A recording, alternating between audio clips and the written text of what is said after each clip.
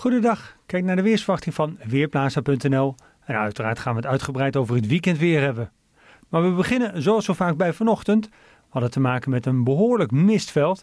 En die mist die lag eh, met name zo in een band over Nederland. Dat was ongeveer het gebied. En als we dan de satellietfoto aanzetten, dan zien we dat in de loop van de dag de mist oploste. Nou, dat was gunstig. Daardoor ging de zon vooral schijnen in het westen, midden en zuiden van het land. Maar in het noordoosten nam tegelijkertijd de bewolking toe en daar kwamen regenbuien aan. En die buien die gaan nu het land overtrekken. Dat zien we ook in de modelkaarten. Om 10 uur vanochtend heeft hij nog eh, veel grijzigheid over het zuiden van het land. En de eerste buitjes bij de Waddenzee.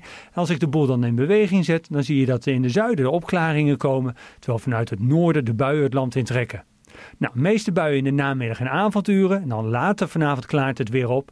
En vannacht zien we dan nieuwe grijzigheid het land binnentrekken. En dat is nieuwe mist en laaghangende bewolking. En die lost morgenmiddag maar moeizaam op. Maar uiteindelijk moet op de meeste plaatsen de zon weer doorbreken. In de kustgebieden opnieuw een enkel buitje. Dat geldt dan met name voor de noordkust. Langs de westkust blijft het zo goed als droog. Dus vanavond naar het zuiden wegtrekkende buien, daarna een paar opklaringen en temperaturen zo rond de 8 à 9 graden.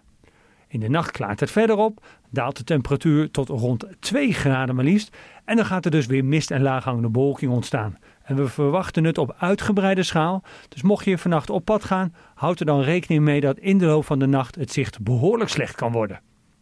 Ook morgenochtend nog geruime tijd nevelig en mistig, maar uiteindelijk breekt op steeds meer plaatsen de zon door. En zoals al gezegd, in het noorden misschien een enkel buitje. rest van het land verwacht ik droog weer. Grote verschillen dus morgen, want daar waar de mist lang blijft hangen is het natuurlijk een kleine wereld, is het slechts 6 à 7 graden. Maar zodra die zon doorbreekt, heb je verder een heerlijke zaterdag te pakken. Zonnige periode en uiteindelijk wordt het dan 9 tot lokaal zelfs 13 graden. In de nacht naar zondag doen we het allemaal nog een keer over. Opnieuw temperaturen dicht bij het vriespunt en opnieuw de vorming van mist. En ik denk dat de mist zondag wat langzamer oplost dan op zaterdag.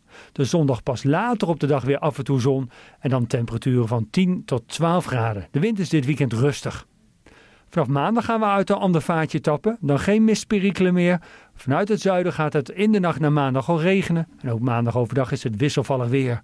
En dinsdag en woensdag verwachten we ook buien.